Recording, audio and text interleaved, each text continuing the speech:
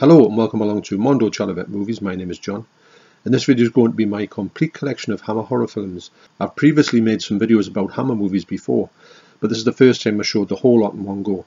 I don't own every Hammer horror film, I do want to get as many as I can, but I do own all the Dracula and the Frankenstein films and to make this video a little bit different I'm going to show these all off on order of release. So the earliest Hammer film I own is from 1953, it's called The Four-Sided Triangle. It can be found on the bonus features of the Curse of Frankenstein disc. Now, I remember watching this and it's more like a little sort of sci-fi movie. I wouldn't class it as a horror film.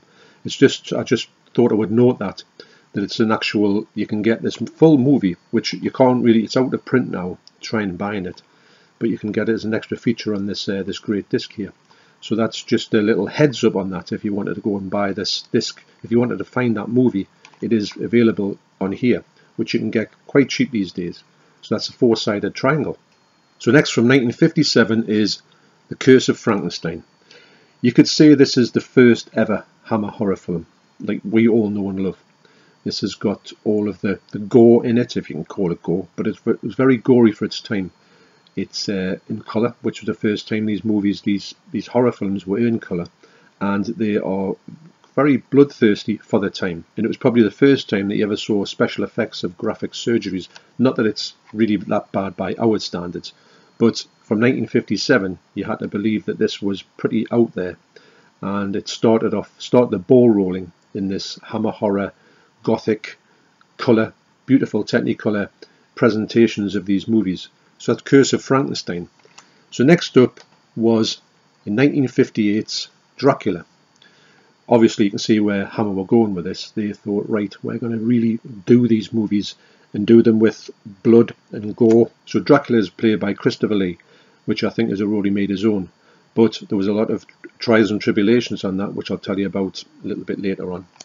So this was the first Dracula movie that they made, and there was some extra stuff that was found in a in a Japanese print somewhere, and they've put it back in this movie. You can tell the quality goes. It's the sort of some of the uh, some of the, the gore scenes in it were lost and they were put back in this movie. So this is the full uncut version. It was great to get this for the first time fully uncut.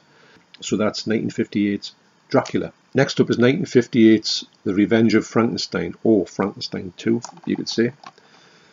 This indicator are releasing quite a lot of stuff to do with um, with with Hammer, and they're doing a great job of it as well. Also, the Frankenstein, Baron Frankenstein, is played by Peter Cushing. He's played by Peter Cushing in the, in the first movie as well. It's a great spin on Baron Frankenstein because he's a bit of a swine, actually. He's not the dashing type of uh, doctor that you find in the Universal uh, movies. He's a different kettle of fish in this one. And it's a great performance by uh, Peter Cushing. He's done some amazing work as Baron Frankenstein in his movies. So that's The Revenge of Frankenstein. Next up is 1959's The Hound of the Baskervilles. Now this was released by Arrow. This is a rare release. In fact, it's the only one I know that Arrow have done of a Hammer movie. This stars Peter Cushing and Christopher Lee, so you know when you're getting Hammer, Peter Cushing, Christopher Lee, you're on to a winner. And I haven't watched this. movie. I haven't watched this movie actually uh, since I've got it, and I've had it for ages. I was waiting for me and the Debs are going to watch it. It's just we haven't got around to it yet. But I know I've watched it back in the day, and I really enjoyed it, and I think I'll enjoy it a lot more because, to be honest, it's not really. It's a it's a um, Sherlock Holmes movie it's not really like a horror movie, but I think it's the way that they shoot these movies makes it feel kind of like a horror movie, even though it says on here it's an A, so it's like a PG. So there's a few of these Hammer titles I've yet to watch, so that's The Hound of the Baskervilles. Next up is 1959's The Mummy. Now that's Hammer making the big three, Dracula, Frankenstein, The Mummy. And they didn't do The Invisible Man, believe it or not, which is something now I think about is a bit strange, but they never went down that, that route. This is a great film. Very, it's an amazing uh, from Second Sight, an amazing addition. One of the one of the best ones out there. I don't know if Second Sight will do any more of these. I hope they will, because they look absolutely great on the shelves. This is this is the type of presentation we love from Hammer. Again, you've got the great duo of Christopher Lee and Peter Cushing. So that's The Mummy. Next release from 1959, The Man Who Could Cheat Death. This is quite a good movie. Now the skull here that's uh, that's an equally good movie. It's got Christopher Lee as well. I don't think it's got Peter Cushing. Yes, it has got Peter Cushing and Christopher Lee. That's a great movie. That, but it's not a Hammer movie. It's a it's an Amicus film. But the Hammer movie here, it's quite strange to have these two, the two rival companies, Amicus and Hammer, on the same disc. So this movie is the often told story of a man who finds tries to find the secret to everlasting youth, and that's about how he how he comes by that. Great movie actually, nice colour on it as well. Although the print on this is a bit scratchy, I know it's been released re-released by Eureka, so I imagine that one would look much better. So that's The Man Who Could Cheat Death. Next from 1960 is The Brides of Dracula. Now this you could see this is Dracula 2. And you'll notice that Christopher Lee's not in it, although I think Peter Cushing is. And unfortunately, this is the sequel to the original Dracula, but it's a different sort of kind of vampire. It's not Dracula, it's a different one. Now at this point, Christopher Lee had sort of turned his back on the role of Dracula, he was doing other things. More about that down the line. But this one was made because I think they wanted to make another sequel to the amazingly popular Dracula, and he wouldn't do one, so they had to like come up with a different story. It's a, it's a, it's not a bad film. I don't mind it at all. I mean, Peter Cushing comes back as uh, Van Helsing, which is his character from Dracula. It's it's not a bad movie. I do like it, but it's lacking Christopher Lee. So for that reason, it gets marked down a couple of points. It's one of those ones where you just think it is what it is, and that's that's how it worked out. So that's the Brides of Dracula. Next up is 1961's The Curse of the Werewolf. Now, weirdly enough, you would think that they would have done loads of movies on the werewolf, and they didn't. They only did the one movie, which is very strange, because everybody knows that the Universal Monsters Wolfman was a long-running uh, series. So this movie is really well cast. It's got Oliver Reed here as the, the man who turns into the wolf, and it's it's funny because these this this company here, Final Cut, they do release some of these movies, and they they do a decent version of them. Although the Studio Canal ones do the best ones. So for me, it would have been better coming out in Studio Canal, but it's still it's still a decent movie, and uh, it's another one that me and the Debs have got to get round to watch. I watched it years ago on TV, loved it, but I need to get it watched, rewatched with the Debs, and we haven't got round to this one yet. So that's a Curse of the Werewolf. Next up is 1961's Captain Clegg.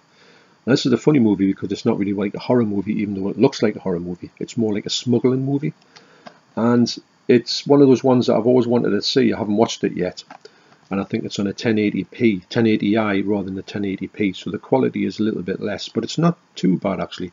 It does actually star Peter Cushing and Oliver Reed as well, so he must have come straight off the back of that one. You'll often find it, and obviously Yvonne Romain is on here, and she was in that one as well. So it, it looks as if when you're in a contract with Hammer, you do a few films with them, maybe three or four. So that's a movie, movie I haven't seen, but very interested to watch it. So that's Captain Clegg otherwise known as Night Creatures, which I think is a much better uh, title than Captain Clegg. I think it sounds a little bit weird. Next up is 1962's The Phantom of the Opera. Now this is another one of these Universal classics that uh, Hammer were getting around to make. They've done quite a few of them. Although with the glaring inconsistency with missing out the Invisible Man. You can't see the Invisible Man, but dumb tish. I do like the story of the Phantom of the Opera. I think it's a great tale to be told and uh, there is a remastered version of this out. I think we're probably out with uh, Eureka, but I'm not too sure who's done this remastered version. I know this one's it's all right, it's not too bad, but I know that the other one is much better. So that's the Phantom of the Opera. Next from 1963 is Paranoiac. As you'll see, Oliver Reed there making a return. Now, this movie is in black and white. It's a strange one to have a black and white one after all of those colour ones because Hammer were put, putting out all these like really good Technicolor movies.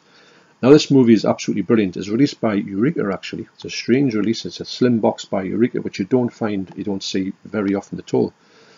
Now this movie is a great movie I find. Now what happens is that Oliver Reed plays this sort of hard drinking man, which a bit of an echo of his real life. And he's got a sister, that he's the brother, and his sister is played by Janette Scott, who is a is a brilliant actress. She's absolutely amazing in whatever she's in. And she he is trying to make her feel as if she's like like going mad, and he wants to get her classed as insane so he can take all the inheritance of his of his uh, of his parents. Well, the inheritance that they're both going to get.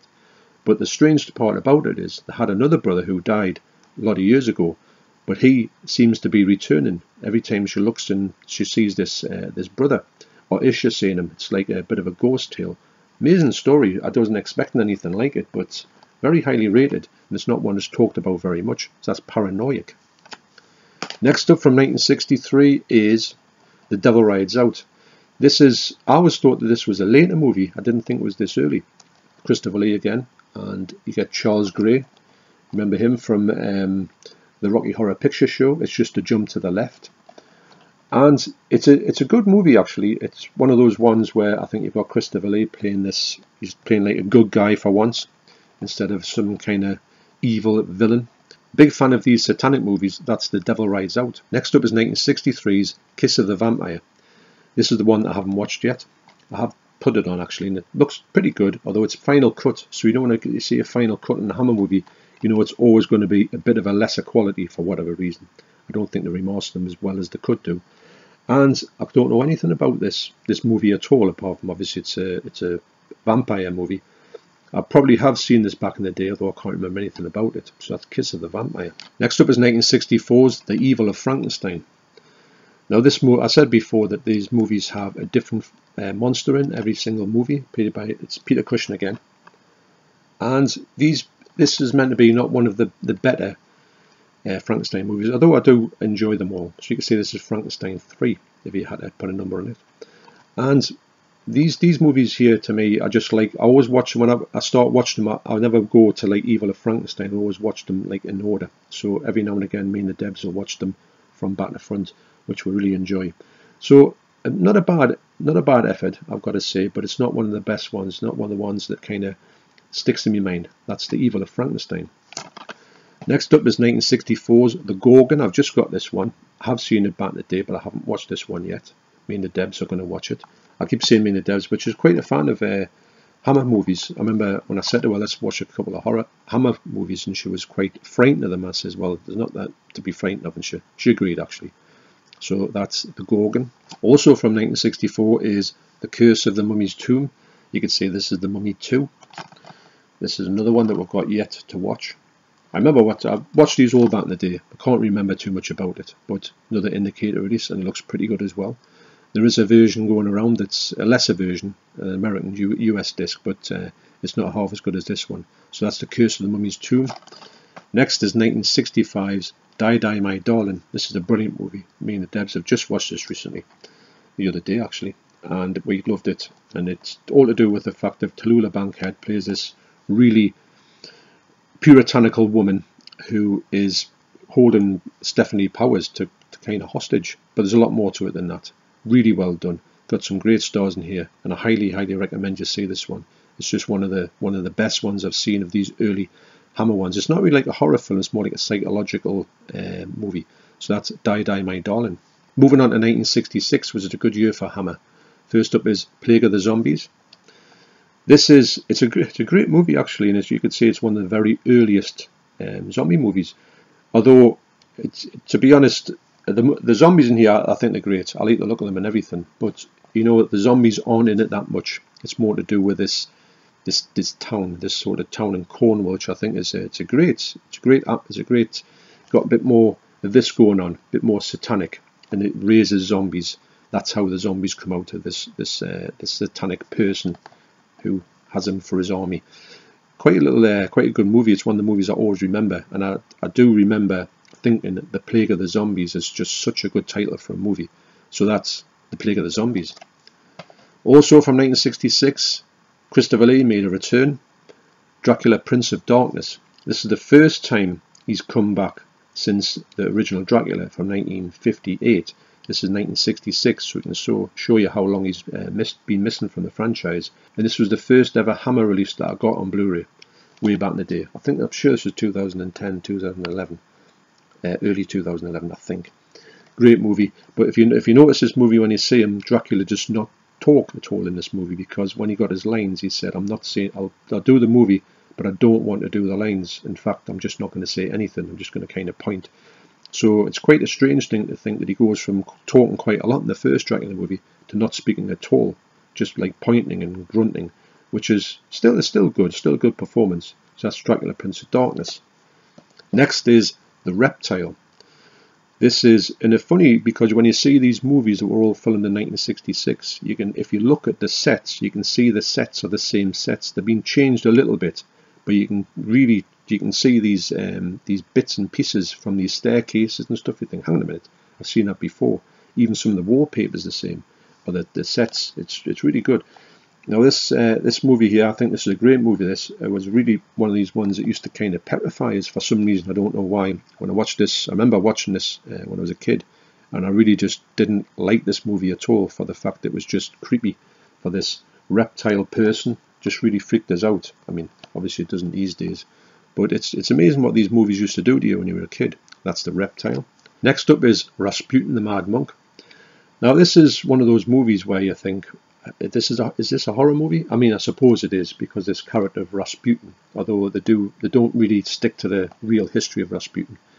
They sort of they've embellished it quite a lot. They do make this kind of a sinister character.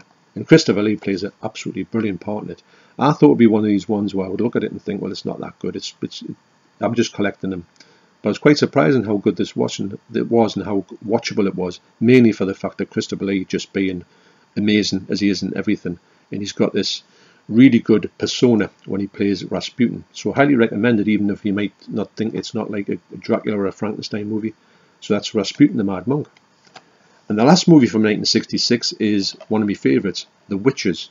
Now, a lot of people, when they're talking about Hammer movies, that say that this is like very low on the list. In fact, it's one of the worst Hammer movies, and I don't, I don't get that myself. I think that this movie is such a watchable movie. There's not much gore or anything like that. It's not like a horror movie. It's more like a voodoo movie, if you can if you can think that way. And I think it's it's quite good. It's one of a kind. It's not really another one that's like that. And the print on here is absolutely amazing. It's one of the ones when I first saw these these Blu-rays and thought, hang on a minute, the amazing quality you can get from these these old films, which on DVD sometimes look a bit ropey, and then when you put, they put them on here, and you think this is just exceptional. This was one of the first times that Blu-ray started. This was very early on in the days of me buying Blu-rays, and this was one of the ones that was had that bit of a wow factor that you get from time to time. So that's the last movie from 1966. That's The Witches. Moving along to 1967, good year, you have Frankenstein Created Woman or Frankenstein 4. This is brilliant. I love this movie. This is my favourite Frankenstein movie. It's uh, it's got everything for me. Just love it. And this isn't released in the UK. This is the US version. It isn't released in the, the UK on Blu-ray. Sadly enough, this really does need to get. They do need. I think if it got like a box set of this Hammer stuff, it would be absolutely brilliant. Especially like the the Hammer, the Frankenstein franchise or the Dracula one. They put them in a big box set. I would love that type of thing, but maybe due to rights, that's never going to happen. You know the old, old classic rights problem. But this movie is just such a great tale and a spin on the whole Frankenstein uh, sort of saga. And it's great that these Frankenstein movies, when you watch them, it's not as if you're watching the same movie time and time again. Every movie is different, which is something which I think is uh, one of the best things about the Frankenstein franchise, which makes them stand out a little bit more to the Dracula ones. I think I prefer the Frankenstein ones slightly over the Dracula ones. So that's Frankenstein Created Woman. Also from 1967 is The Mummy's Shroud, or The Mummy 3. Now, this is the one that I watched a long time ago. I can't remember. I have watched the Blu-ray. It's a, it's a stunning presentation. As all these all these uh, Studio Canal Blu-rays are just amazing. They're, they're absolutely great quality. So never think that you're going to get something a bit dodgy. The Final Cut ones are a little bit, you know, you think, mm, I've, I've seen better. It was a bit of a shame because you used to get them all on Studio Canal, and Studio Canal said they were going to release practically every single one. And of course, they might have lost the rights to do that but they've kind of tailed off from that. They don't release that much now, sadly, because when they do, they do a, stellar version of it. So that's The Mummy's Shroud. Also from 1967 is Quatermass in the Pit. This is, uh, I think, probably the third film in the Quatermass series. Maybe it's the, I think there's only three of them. This is a great film, and it's got a got an amazing print on it. It comes from a TV series. Highly recommend this one. I would love them to do the other Quatermass and Quatermass 2. I'd love them to put them out. I don't know if that's again, that's I'm going to talk about this quite a lot. Rights issues, I think they plague this Hammer franchise. sadly, because you've got to go to a lot of different companies for these movies, uh, which is it's a bit of a shame. But I thought it would be a bit more tidy when they got released. But obviously, that's what happens, isn't it? So that's Quatermass in the Pit. Next up is 1968's Dracula Has Risen from the Grave, or Dracula 4. This was one that I thought was all right when I when I first watched it. I remember thinking it was you know pretty good, but on a recent rewatch with the Debs, I found this was absolutely brilliant. I love this one. it was one of the ones that delivered a lot more than I originally thought. It's funny when you go back to these movies, as you do with a lot of movies, you'll go and think, oh, it was all right, and you've got like preconceptions of it, and then you watch it and you think, hey, that was that was a lot better than I thought it was going to be. A lot of these movies do uh, come across like that. So that's Dracula has risen from the grave. Next up is 1969's Frankenstein Must Be Destroyed, or Frankenstein 5. I don't own this on, on uh, Blu-ray yet, unfortunately. Now this movie here, it's not, I wouldn't say it's like shocking, I don't think any of them are shocking, but for some reason this movie freaked me out when I was a kid. So the monster here is played by Freddie Jones, who was in The Elephant Man. Amazing actor. And for some reason this just freaked me out. I think it's a part of it where he gets buried in the garden and then this, this like water thing spurts out. I don't know why it freaked us out, but it really did. It was like such a, it just gave us nightmares actually. To be honest, I haven't got a clue why. But this is this is another one. This is a great one. I'd love to get this on on Blu-ray. It's probably been released on Blu-ray somewhere in the world. So that's Frankenstein Must Be Destroyed. So moving along to the 1970s, and the first one released was Taste the Blood of Dracula, or Dracula 5. This is my favourite Hammer movie. I love this movie. It's got so much going for it. It's just one of those ones where it's got its perfection. It seems a little bit like the League of Gentlemen places. And you, if you watch it, you know what I mean. It's got a great story to it where you get this group of people who are kind of like churchgoers who at nights they want to go out with the, together and they go and seek these sort of de depraved acts and they see this fella who says look I can give you you can drink the blood of Dracula I've got some powdered blood of Dracula and they drink it and then all hell breaks loose so it's all about, and then Dracula comes back and, and gets his own back on them, kind of thing. And um, it's it's a it's a weird sort of like revenge as well. It's it's just got everything in it. If you want to see something that's got like a bit of every single sort of hammer like horror trope in it, it's all in this movie. So that's highly, highly, highly recommended. My favourite Hammer movie of all time. That's Taste the Blood of Dracula. Next from 1970 is The Vampire Lovers. This stars the amazing Ingrid Pitt. Now, I showed this before, but I'll show it again. In there, I've got Ingrid Pitt's signature, which was signed for John Hall. John Hall got two signed, so it's obviously two John. Best wishes, Ingrid Pitt. Now he's got one as well, and he gave me this one, which is absolutely amazing to think that Ingrid Pitt has signed this. I would love to have met her, but um, it's just it's just amazing that I've got this this this autograph. It's one of my prized possessions actually. It always lives in here, although I might get it up on the wall sometime. You never know. This is this every movie that stars Ingrid Pitt is always you know you're in for a uh, you're in for a treat.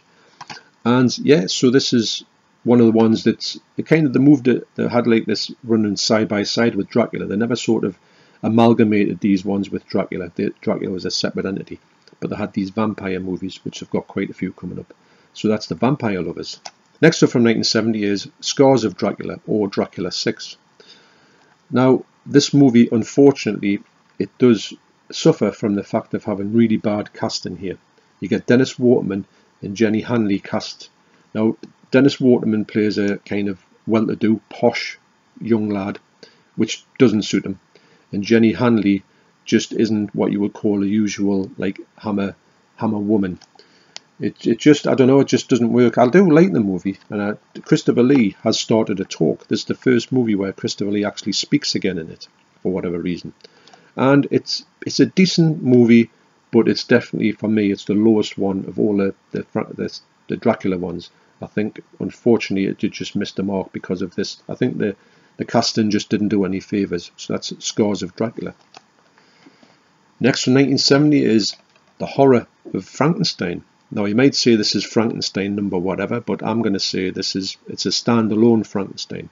What had happened was, I think Peter Cushing had fell out of love with with the Frankenstein character. So he said, I'm not doing anymore. So they thought, right, we'll start a new one off. So they started this off with um, Ralph Bates playing, you know, Baron Frankenstein.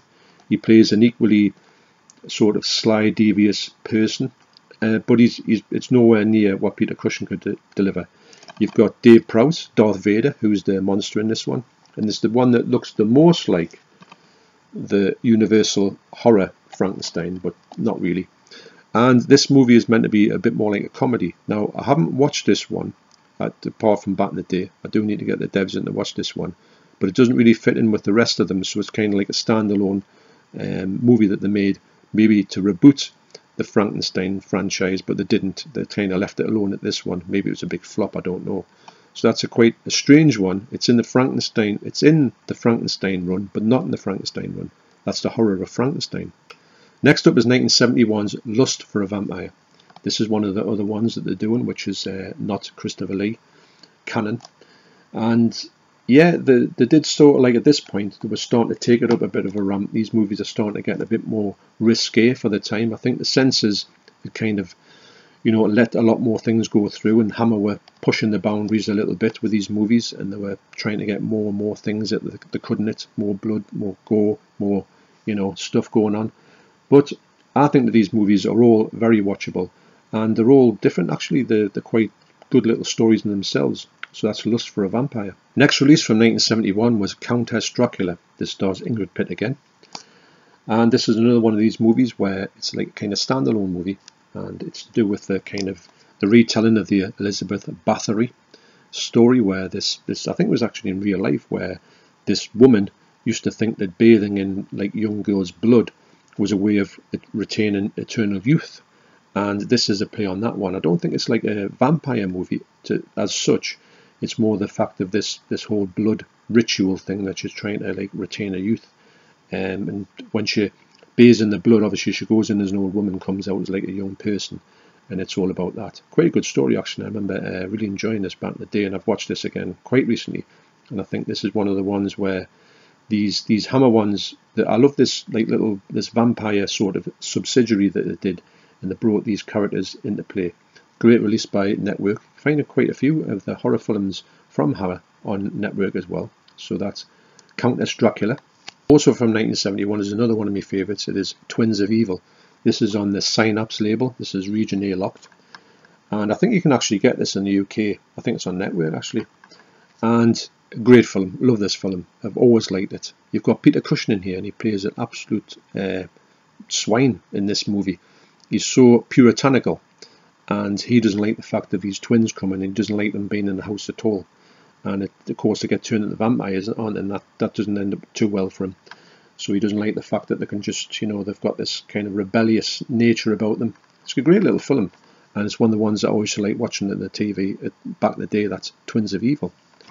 Also from 1971, what a good year this was, is Blood from the Mummy's Tomb. Now I've just got this one very recently, and I can't wait to watch it. I think I'll watch the I think I'll get the four mummies out. Me and the Debs will watch the four mummy movies because this is mummy movie number four. Try and say that after 14 pints. So yeah, so again, it just looks spectacular on Blu-ray and I can't wait to watch this. I have watched this back in the day, I just can't remember anything about it. So that's Blood from the Mummy's Tomb. Next day released Dr. Jekyll and Sister Hyde. This is a great play on Jekyll and Hyde, but the fact is when Dr. Jekyll played by Ralph Bates. He's obviously doing his run of Hammer movies. He goes and takes his portion and he turns into a woman. So this is a really good spin on this movie, and I tell you what, the print on here is absolutely amazing as well. So that's Dr. Jekyll and Sister Hyde. Next up, and the last one from 1971 is Hands of the Ripper. Now this is from Network, and I remember watching this, and this is it's kind of like it's about uh, the Jack the Ripper, but it's got a bit of a, a play on it which I'm not going to tell you because it's kind of a massive spoiler. But it's quite a good little, like, not who done it, but obviously nobody knows who Jack the Ripper is. But this is a really good um, spin on the Jack the Ripper tale. So that's Hands of the Ripper. So moving on to 1972, and you've got another great release, Vampire Circus. This is released by Synapse, and I think you'll probably get this in the UK as well on Network, or some something like that. This is a great movie. I love this movie it's one of those ones that did move it up a little bit of a notch in the way of what they showed, how explicit this movie was. It's not too bad by the, today's standards, of course, but it was a little bit more than you, you saw before. And they, I think they were pushing the boundaries quite a bit. I think this is probably the one that pushed the boundaries the most. This is a really good movie actually, and it's uh, one of those ones that it does stand alone, but it's got a great take on the fact of the circus travels around from here to there, but they're full of vampires. I like that actually. So that's Vampire Circus. Next up is Dracula AD 1972, from 1972, or Dracula 7. This is a great presentation from uh, the premium collection from HMV. I love this uh, the way this, this these movies look. Love the way they've used the original artwork. Love this movie as well. It is 1972 personified. The way that the, uh, the people go on, they've got all this the jargon from 1972. It's got the amazing Caroline Munro in as well. She's always welcome in the Hammer movie, even though she didn't do that many. And this is one of the best. It's it's very much of its time, but I like it because it's that because it's it's just so 70s. It's unreal. So that's a great entry into the, um, the Dracula franchise. That's Dracula AD 1972. Next up is 1972's Fear in the Night. This has got a great cast in here. You've got Judy Geeson, who feels like she's getting hunted by somebody. You've got Peter Cushing, who's married to Joan Collins in the film, believe it or not. And she's married to Ralph Bates. Now, this is one I haven't seen. I've seen it back in the day. I remember actually. I remember that Peter Cushing was very uh, ominous in it. So it's one of those ones that I will get the Debs to watch. I don't know if she goes too much towards these psychological ones. I think she prefers like the gothic horror ones. But um, it, again, it looks brilliant on Blu-ray. So that's Fear in the Night. Next came 1972's Demons of the Mind. Now this is a movie that I can't really remember anything about. I remember putting it on and thinking it looks great, but haven't got a clue what it's about. It looks very um, gothic in its uh, presentation, but don't know anything more about it. It's another one on the, the quite. I've watched most of these movies, but I think this is one of the ones I probably haven't seen back in the day. One of the rare ones I haven't seen back in the day, or I have no recollection of. So that's Demons of the Mind. Next is 1973's The Satanic Rites of Dracula, or Dracula 8. This is, it's to be honest, this is the last one that Christopher Lee starred as Dracula in and it's not the best one for me. I do think that I prefer more. It's one of the, the least enjoyable ones. It's still all right. Don't get us wrong, but I feel it's a bit. They've moved into a different time, and it's a bit like a cop drama rather than a Dracula movie. You'll know what I mean if you've seen the movie. But it's in. It's more like a sequel to Dracula AD 1972 because he comes from being out from the the uh, like the historical Dracula into modern day times, which was great in Dracula AD, AD 1972, but in this one he plays more of a second fiddle, fiddle to the, the, the cops that are trying to catch him from the, the other movie, the previous movie. So it lets it down a slight bit, but it's a great way to sort of continue this movie on. It's like a direct sequel, like more than most of them are. So that's the Satanic Rites of Dracula. Next up is 1974's Frankenstein and Monster from Hell, or Frankenstein 6. This is the last Frankenstein movie in the Hammer series, and I want to thank my good friend Dennis McCulloch for sending this across to me. Remember when he, he put the the Laurel and Hardy things on the on the card there? They are still there, and this is the, this is a great movie. This is a great presentation. Also, I do have as well. I do have the second sight version of this, and I do hope that second sight get their hands on a few more of these to release, which is would be absolutely brilliant to have them in the shelves and also a big thanks to Dennis McCulloch. That's Frankenstein and the Monster from Hell. Next up from 1974 is The Legend of the Seven Golden Vampires, or Dracula 9. This is the last one that ever released. Now, this movie sadly does not feature Christopher Lee. It just has this. He was going to be in it, but they they cut his part down to practically nothing in it and put this other actor into it. And it does let the movie down because of that. But apart from that, this movie is so watchable. It's a brilliant movie. It's like kung fu because obviously Bruce Lee movies were out at the time, so it's like kung fu mixed with with Dracula. And I, I find this movie to be absolutely brilliant. Me and the Debs watched it. We thoroughly enjoyed it. Obviously, there's a Blu-ray out there in the US, which was like very expensive, but I have heard it's coming out in the Blu-ray uh, Blu-ray form in the UK, hopefully. So that'll be amazing to get that because this movie is such an enjoyable movie. It looks quite good on DVD, but obviously this is a terrible cover. This it's one of the worst covers I've ever seen It doesn't make you want to watch it, does it? But it's still really a fun watch, and that's a brilliant title. So that's The Legend of the Seven Golden Vampires. So finally is 1976's To the Devil a Daughter. This, I believe, was probably the last Hammer horror movie. I think they released a couple more after this, but then they were kind of done. To be honest, I haven't watched this. I've watched this one yonks ago. I have not watched this one recently at all. Do want to get this one.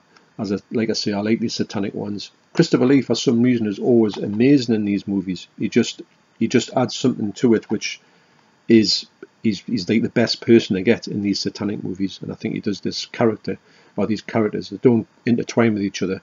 They're sort of standalones, but I think he does them best out of any Hammer actor I've seen. So, phew, after all that, and I hope that this, this rough cut here is 1 hour 20 minutes. I hope this is not going to be that for the one that you watch. I hope it's a lot shorter. So, thanks for watching. You take care, and I'll see you in the next video. Cheers.